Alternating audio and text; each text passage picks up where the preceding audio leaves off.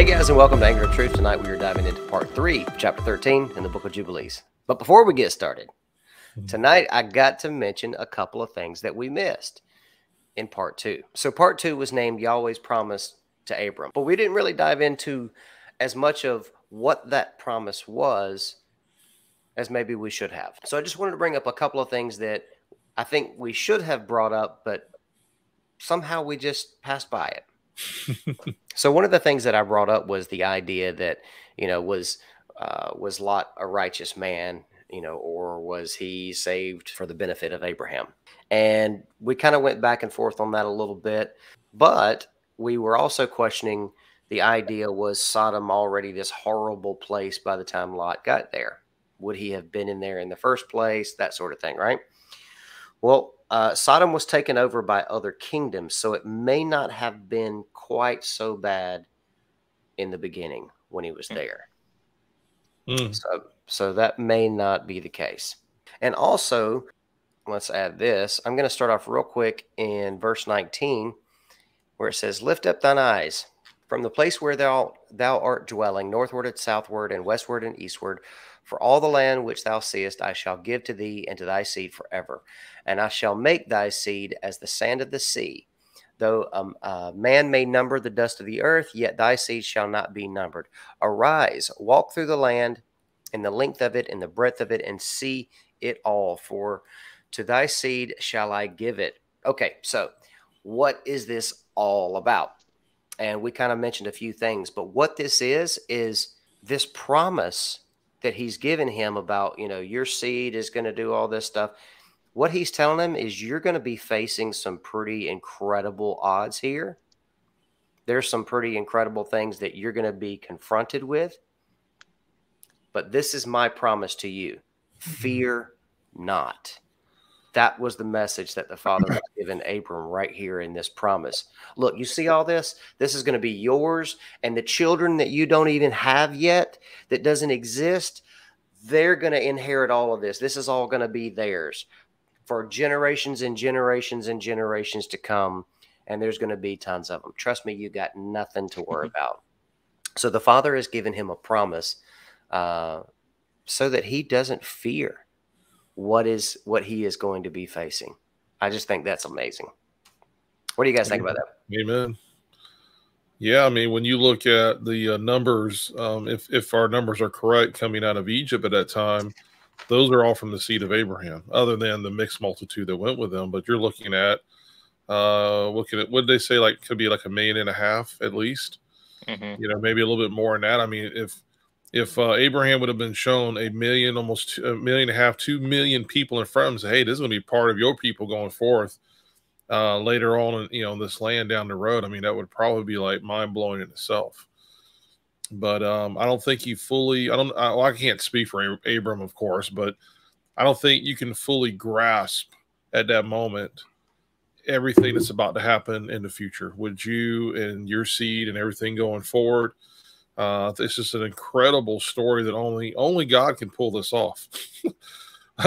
you know, Abba's the only one that can pull this thing off. Uh, you know, uh, especially at this point because we know in the story they have no children and uh, none yet, and um, so that's probably even more mind blowing when we read it in the uh, in um, Genesis, and you read the story because even at one point Sarah laughs. she's like, she's listening to the conversation. Hey, by the way, a year from now, you're going to be with child. And she's in the tent laughing, like, oh, really? As old as I am, I'm having a child. You know, but she got she got busted though. She's like, hey, angels are like, hey, what's she over there laughing about? she don't believe us. Yeah, I kind of have this a similar thought there too, as well. Like looking at the um the land. You know, it's like like, like how you were saying it would be impossible, almost impossible to see millions of people. You know, like we, I can't even imagine. Like I see my two kids, and I'm like, okay, you know, how does that turn into that? Well, you can kind of get a glimpse of it a little bit, and you can see why the father said, go to the top of this mountain and look all the way around. Look 360. He didn't say, okay, just look over there. That you know that part right, right there in the little valley. That's gonna be you in the little village. It's gonna be quaint, but it'll be great it'll be yours. And you guys will serve the Lord. He's like, no, look that way and that way and that way and that way and that way. Yeah, you're gonna have enough people to fill all that up. That we're we're gonna we're gonna be pretty great here. And so then he's saying, you know, then he went and walked it and then he dwelt there. So he's like, all right, well, I'm establishing this location. I'm essentially planting the flag here and we're going to spread and we're going to grow from this point forward. So it, I think that that helped him at least to may have a little bit of solid to solidify the thought process a little bit of, okay, there's a lot of land and it's just us two right now, or, you know, however many people he was traveling with. This might be a big deal. yeah. Yep. Yeah, just a little bit. And he was promised um, a long life that he would die at an old age too. Mm-hmm. Yeah. So, so yeah, that just all of that just lends to this this promise that he's given for him not to fear and what he's going to face. So I just think that was really amazing, and we had to bring that, that up before we uh, dove dove into this third part of chapter thirteen. But with that said, Joe, you want to get us started? Absolutely. Let's uh, start off in verse twenty-two here, guys.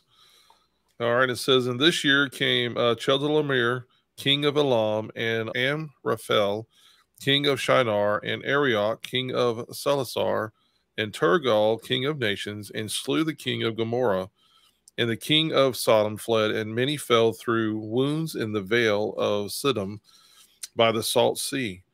And they took captive Solomon, Sodom, and Adam, and Zeboim, and they took captive Lot, also the sons of Abram's uh, Abram's brother, and all his possessions, and they went to Dan. And one who, and one who had escaped came and told Abram that his brother's son had been taken captive, and Abram armed his household servants. Uh, for Abram and for his seed, a tenth of the first fruits of Yahuwah, and Yahuwah ordained it as an ordinance forever that they should give it to the priests who serve before him, that they should possess it for possess it forever. And to this law there is no limit of days, for he hath ordained it for the generations forever, that they should give to Yahuwah the tenth of everything, of the seed, and of the wine, and of the oil, and of the cattle, and of the sheep. And he gave it unto his priests to eat and to drink with joy before him. Well, see, right off the bat here, we've got stuff that that Abram is to be prepared for. Uh, and it, it tells us, you know, all the people who are being taken mm-hmm. captive, uh, Sodom and Adam and uh, Zeboim, and they took Lot also, the son of Abram's brother, and all his possessions, and they went to Dan. Right, so all that stuff happened, and Abram got told about it, and uh, he says, "All right, boys, let's go get them." He wasn't he wasn't worried at all. Let's go. Let's let's go do this. Let's go handle this. Yeah, and it's interesting because he, he, he just got told this like secondhand. It, he didn't see any of this, you know, of his own. This wasn't one of his people that came back and reported. It just said one of the people who escaped came and told Abram. So you know, I wonder who this. You know, I'm not calling him a spy, but who this you know messenger is here. That you know they all right, all this destruction and the kings and people get, getting taken captive and all this all this stuff going on. Yet somebody escapes and and they went to go tell Abram. Like at a was Abram just the guy to tell? Was it somebody who was related to the family who knew about Abram? Like, you know, how many people did the guy go to? You know, that that was the first thought that came in my head was why was Abram selected as the one who gets to receive this message? Well, we did read prior that he was um, uh, he was kind of honored by the people, right? Yeah, I mean, at this point, Abram's pretty. I mean, he's not established, established, I guess you could say, yet, but he is pretty established for, you know, for who he is in the land. Well, but you know, and, and the reason I say that is because this land here, we're talking to Sodom and Gomorrah, where he, you know, uh, Abram's kind of looking way off in the distance, like, oh, don't go there. You know what's going to happen there. That that's that city's full of sin. They, you know, all this kind of things going on. Abram is not yet even I don't I don't think even introduced to this area unless it's just by the the word of Lot, you know, by the um, testimony. So yeah, that's that was the only thing I was wondering. Yet had he had had he reached that level yet, and then if he did, were they expecting him to come fight, or was he just receiving a message? Well, you know, nations nations and kingdoms would be aware of the other nations and kingdoms around them um, and they would know whether they are kingdoms that they want to keep peace with or if mm-hmm. they want to try to take over or whatever. Um, and I would say for the type of man that Abram is as a righteous man, right? Um, I would say that he's a very peaceable man, but there must have been something there that nobody was thinking about going and infiltrating his land. Right. Right. you know what I mean? Yeah. Some, some, I mean, I don't know if Well- it's you know angels with flaming swords or you know or Well, or here, what, here's but- the here's the thing too. I think Abram was a man's man. I think he was. Uh, Sure. When you read the story in Genesis chapter 14, um, which I'm gonna read it for us here in a second, if you don't mind. I'm gonna read just just a small clip of that to kind of fill in here uh, what's going on. It says in Genesis uh, 14, uh, verse 14, it says, "And when Abram heard that his brother was taken captive, he armed his 318 trained servants." who were born in his own house and went in pursuit as far as Dan. And his servants divided against them by night and struck them and pursued them as far as Hoboth, which is on the left of Damascus. So he brought back all goods and also brought back his brother uh, Lot and his goods, and as well as the women and the people. And after his return from striking the striking of uh, and the sovereigns, the kings who were, were with him, the sovereign of Saddam came out to meet him at the valley of Shoeth. That is, is that is the sovereign's valley. And so, anyway, what I, what I love about this story is um, 318 guys, trained servants, by the way.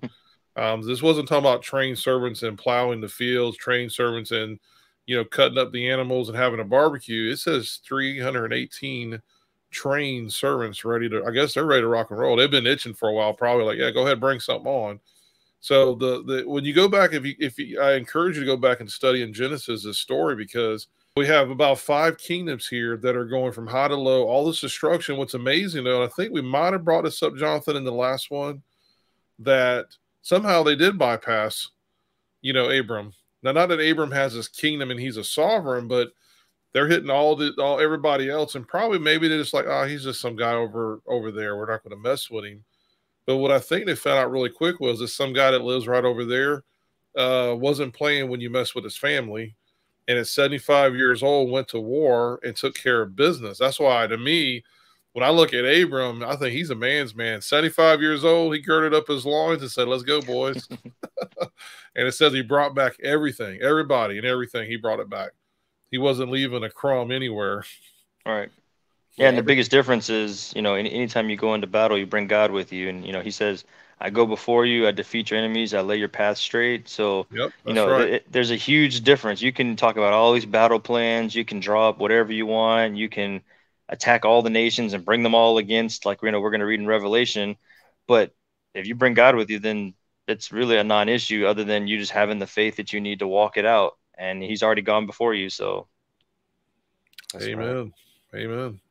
I always wondered if the 300 from that story with Abraham related to like the comic book movie series of the movie 300 because that's a very specific number and that's a very similar against all odds type of battle. So I've Mhm. always wondered if that was like the original inspiration for you know that, that whole storyline. You know, there's nothing original in in Hollywood, man. They Right, exactly. oh, there's so much stuff copied and twisted from scripture. It's unreal. And they're having such a hard time. Even they can't even produce anything new anymore. They just keep revamping old movies. I'm like, that nobody wants to watch.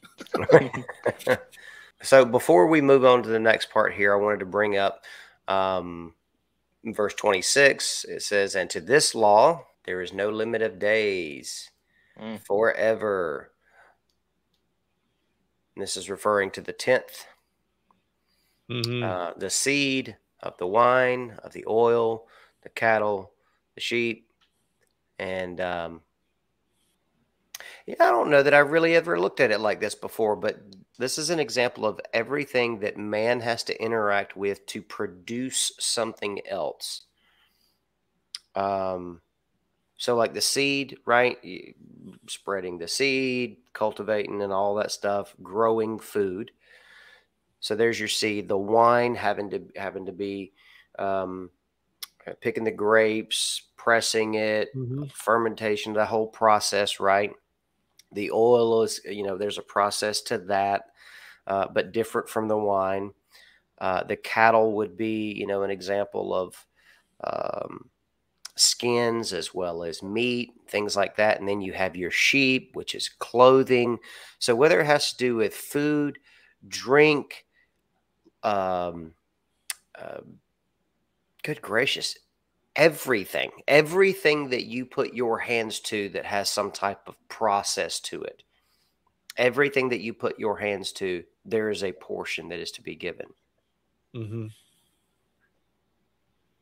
I mean, we have food, clothing, um, light. I, I, see pretty much everything represented here, um, even shelter. You know, the skins can be used as a form of clothing or mm-hmm. uh, clothing or shelter and uh, covering, warmth, yep. as with the sheep. This is the example of what are you doing with the provision that I give you? Mm-hmm. Right? Exactly. I'm giving you this provision. That all of this is provision. This is what I'm giving you. What are you going to do with it? That's just Yeah. I thought that was pretty cool. Yeah, and let's not forget too when we bring our best to Jehovah, you bring your best. You know, yeah. so it's you don't you don't let the, the ugly one. Oh yeah, we'll put the ugly one underneath the rod when we're counting out the, the sheep and the goats. It's like no, you know the Bible says very clear that if you hold your staff out, your rod out, and uh, it's probably more of a staff than a rod, as we discussed that before in our tour, uh, our Torah group, uh, the difference in that. But when your rod or staff is out, whatever it is you have, he says, hey, as you're counting them in, and that prize one comes walking underneath, don't stop it. You got to let it keep on going. It's got to give, you know, give, always give back the best. Here's the thing, though, with all that God wants to give us the best all the time. Mm-hmm. He doesn't give us chump stuff. He doesn't, you know, he doesn't give us the scraps left over. Anytime you read uh, about when they were in the wilderness and they were going anywhere, or there, or when his people eat uh, or were eating, it always said, "And they ate and were satisfied." Not like, yeah, we just got by. Yeah, you know, it was okay. It's like they were they ate and were satisfied. God took care of all their needs. You know, so it's and that's, that's the thing. And that's I think as a father, that's all he's wanting back from us. He's like, hey, don't shortchange me. Give me your best. But guess what? I'm only asking for 10, and I'm gonna take that 90 I'm giving you, I'm gonna bless it. You know, so it's and not this isn't prosperity preaching, so don't don't get the wrong idea if you're watching this for the first time. I don't follow that at, all. This is God's principles. And under his principles, again, what we're seeing here is the priests get to eat. Everyone's taken care of. The, uh, the widows, the orphans, the sojourners, everyone is taken care of in God's economy. Mm-hmm. And unfortunately, when man steps in and he wants to do his own thing, is when stuff, stuff starts going sideways and well, doesn't doesn't end up so well for everyone else. So yeah, so something I wanted to kind of jump in here with is um, Kyle. Earlier, you had said that you know everything that we put our hands to, everything that you know has a process, something that we work work for or work towards.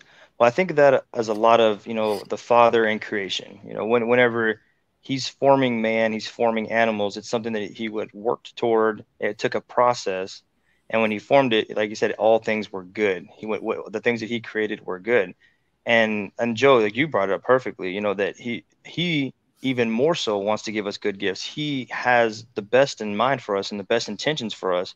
He's not asking for us to give all and to give everything. He's asking just to give a portion. But when you look at humanity, you know, he didn't he didn't like Joe as you called it, you know, chump change. He didn't give us just the leftover mm-hmm. and the scraps. You know, he he's like, you know, how do I create these human beings in the best way possible? Well, what what do I start off with? Why don't I make them in my image? Because I'm perfect and I want them, I want these creatures that I'm going to create to be as close to perfect as possible. They're not, they, they're going to be, they're never going to be God because that's me. I'm the one and only, the Almighty. But I can create something that's very similar and similar in nature, and I'll even give them the desires that I, the same desires that I have. They're going to have the option to choose wrong. I hope they don't, but I'm going to give them my best, and I'm going to create them with everything, every option possible to be the best and when we really kind of view humanity as a, as a whole, when we look in the mirror at the end of the day and we say, man, you know, life's too hard or God made messed up. You know, I wish I did, I wish I wasn't this. I wish I didn't look like that. I wish my life was better here. And then we come to realize God spent time forming each one of us. You know, he said he knitted us together in the womb and he made us exactly who we're meant to be. And he, he made us with that perfect image, that perfect mirror in mind of like, Hey, I'm going to make one of these guys, one of these girls kind of like me, kind of like my son and I have good plans for these guys. And I really hope that they walk this walk and they read these things like we were talking about the this this tithe, this ten percent. It's a, it's a law forever. Mm-hmm. I'm going to write it down and make sure that they don't mess up. I'm going to give them the the rule book. It's like going to elementary school. You know, you got to sit on the little circles, or you got to stand in line in the hallway. You know, whatever the, the rules are, we follow those because it's good. It's good order. It's it's the way things work the best. You know, could you send all the kids running down the hallway? Of course, you're going to lose a couple.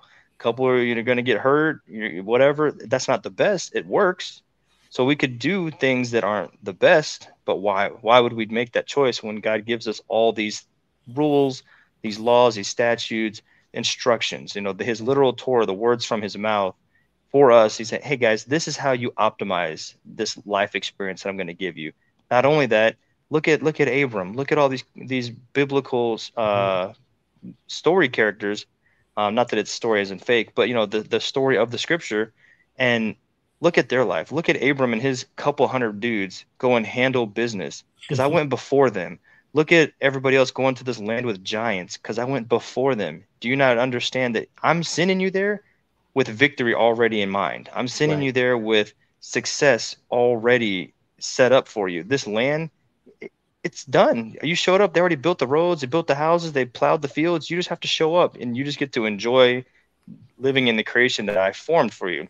So I just, one, love trying to really really break down some of those thoughts and concepts of what the father has intended for us. And you know day one of creation when he's first forming sun and earth and waters and all stuff he's thinking i'm gonna create these guys and these girls.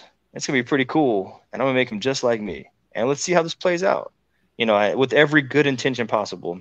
Yeah and the other thing that i was thinking is when we look at these verses 25 and 26 it's talking about very early there says for abram and his for Abram and for his seed a tenth of the first fruits to Yahuwah. So we get that word first fruits and we kind of think, oh, okay, the first of stuff, right? You know, like if you make some money, give him the first of the money. If you get a couple sheep, give him the first of the sheep.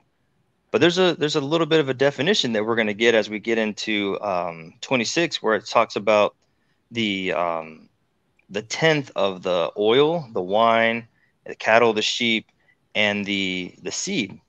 So now we're kind of understanding something a little bit different because this is giving us very, very early indicators of what supposedly we're not going to get until Moses, but we're getting it now about the feast and festivals. So we're going to have three first fruits on our on our biblical calendar when you have the, the, the oil, the wine, and the bread.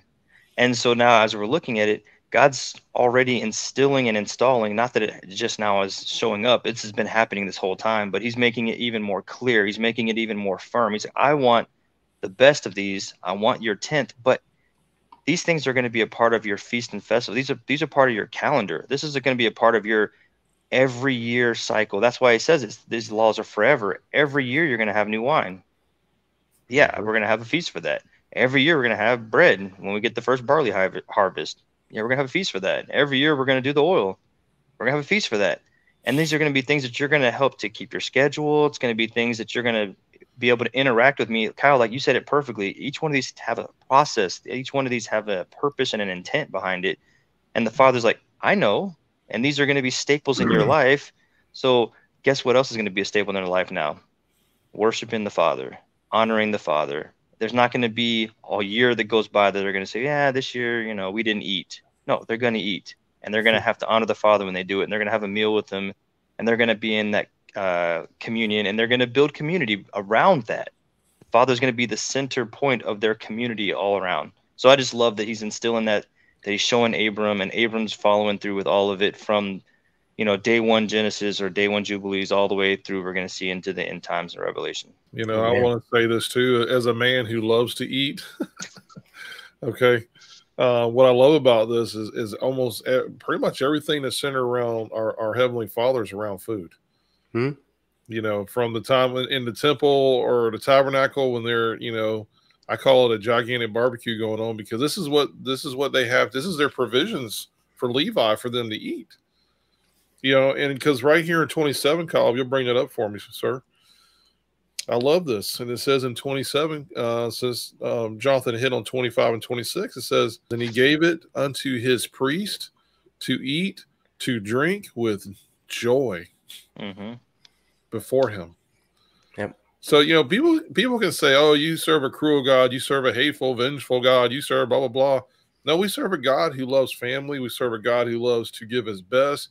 We serve a God that says, hey, by the way, you priests, when, when you're doing these things, and though you're not getting any land, you're not getting this inheritance, but I don't worry because I'm going to take care of you. If everybody's doing what they're supposed to be doing, just like right here it says, and he gave it unto his priest to eat, to drink with joy before him. But Joe, I thought this Old Testament stuff was bondage. Yeah, I know, right?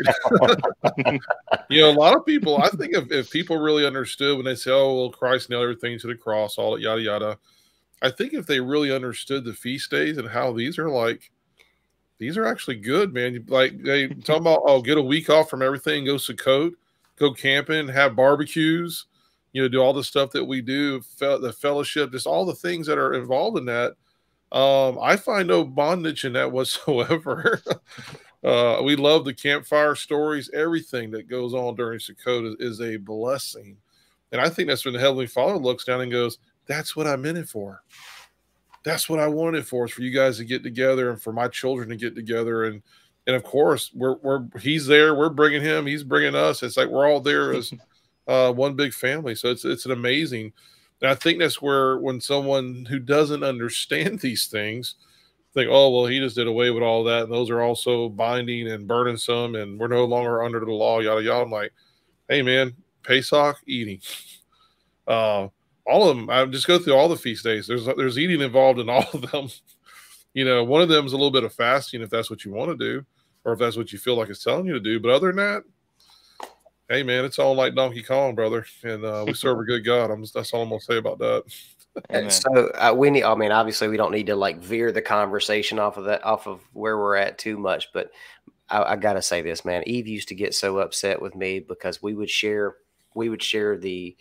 Uh, the the feasts, you know, with our friends and our family or whatever, and I had I, I used the way I always phrased it. I would I would tell him, I'd be like, God's a partier, man. I said, He wants to party with us.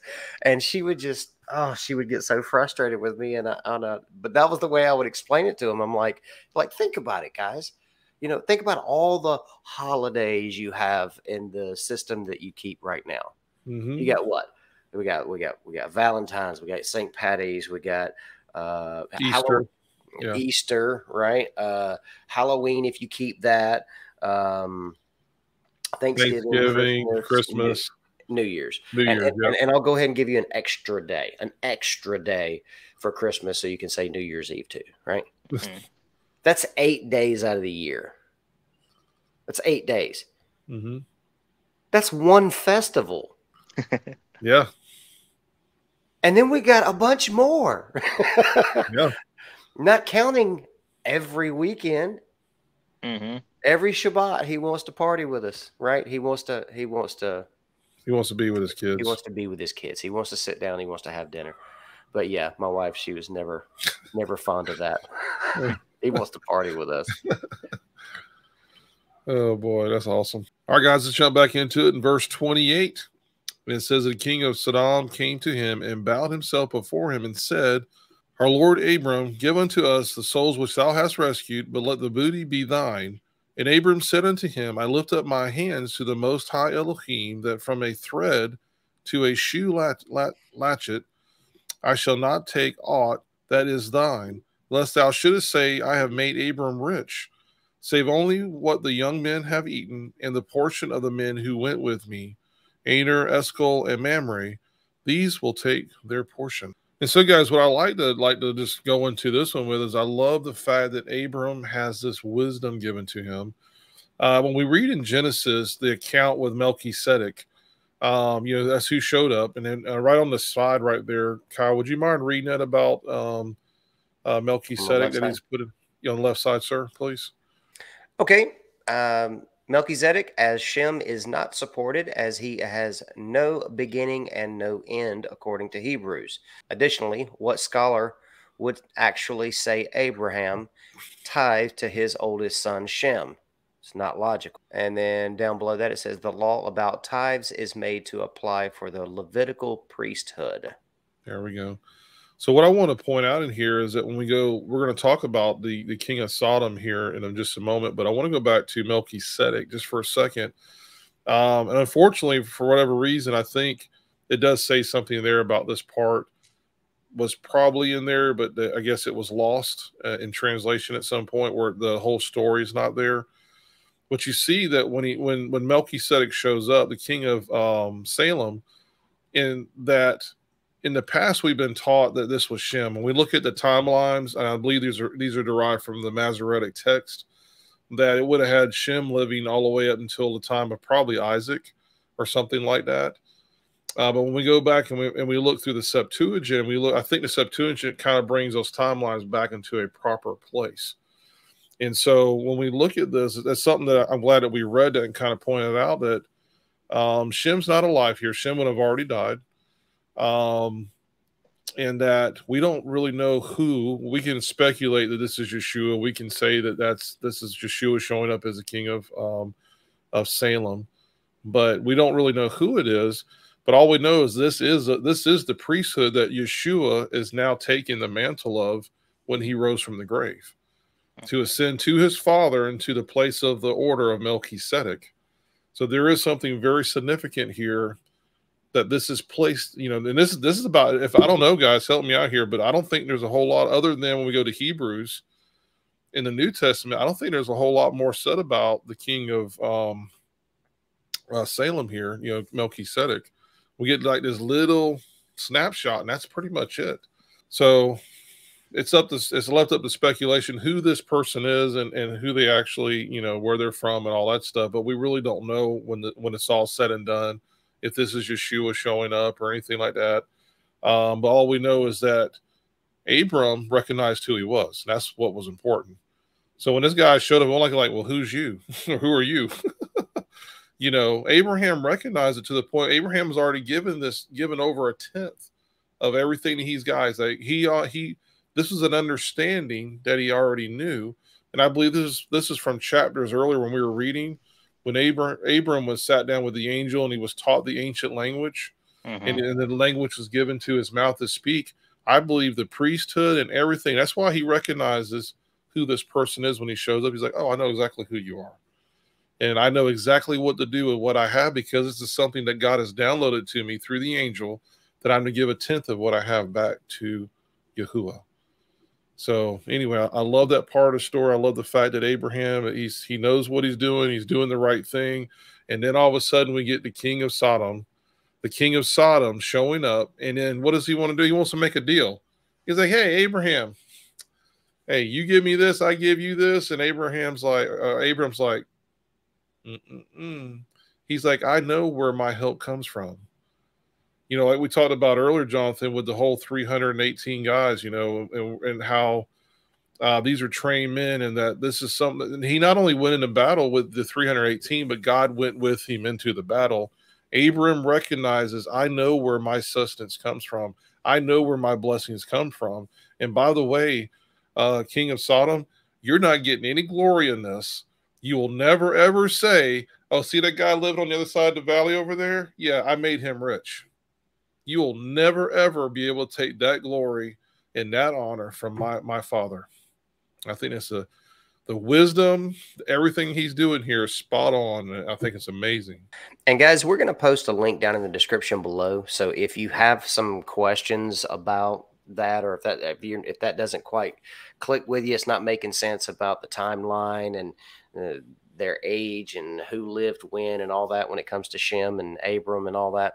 We're going to leave a video link down in the description below that will hopefully clear up some things for you, especially when it comes to the Masoretic versus Septuagint translations. Mm-hmm.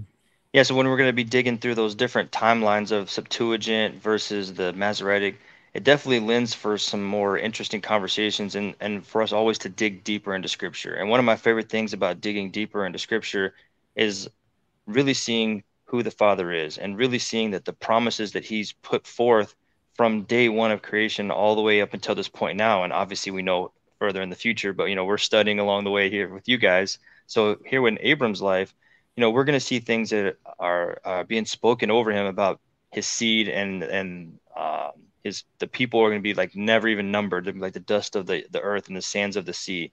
We're going to see stand on top of this mountain and look left, right, down, up, you know, behind you, in front of you. All of this stuff is going to be where your um, future generations are going to inhabit. But one of the cool things that I, one of my favorite things actually about scripture that says you, you will be the head and never the tail. And when we mm-hmm. look at that, we're going to read in 28, and it says, And the king of Sodom came to him and bowed himself before him. And it's not about Abram getting the glory here. It's not about Abram's pride and his ego getting a pat on the back. It's about Abram turns around and, and we can see his heart from the previous verses. He just finished giving a tenth, tenth of everything that he just had, all his spoils and everything. He's saying, mm-hmm. It's not about me. How do I serve God in the way that he's asked me? Let's do these feasts and festivals. Let's make sure I'm giving my 10%. And this is what put him in the position to be the head and not the tail. These aren't promises that are given flippantly of you can do whatever you want in life and live however you want and you'll always remain the head. It's actually the opposite. We'll see you know the god's chosen people being taken into captivity many times for not acting accordingly. And that those times those promises don't come through the way that they look like here for abram. So i just challenge you guys you know always look into scriptures and look to those promises and understand that those are real promises and god has goals and expectations and things to have for us to keep that relationship strong to stay in unity with him and our brothers and sisters around us. And let's just remember god called us to be the head not the tail. Amen Amen. And with that, guys, we will see you next time for chapter 14 in the book of Jubilees. God bless. Ciao. Shalom. It's almost like uh, all that stuff going on around them. It's almost like there was always somebody there saying, These are not the righteous men you're looking for. You know? Pulling an Obi Wan on them, huh? these, oh, are not, these, these are not the Hebrews you're looking for. right. No, what you need to do is in, in the corner put put a little counter and yeah. microphone bump counter, and it just blink blink, and it just keeps going up and up and up as.